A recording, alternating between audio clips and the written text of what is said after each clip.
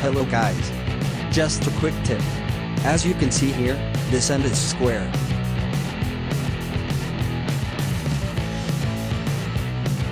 But if you see from the other side, you'll find that the rest of the bar is not square.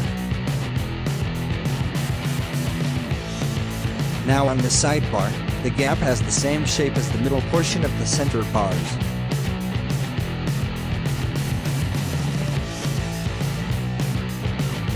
That makes you think that the center bars will not fit into the side bars gap.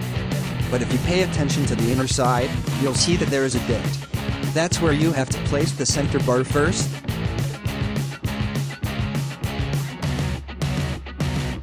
Let's remove the screw.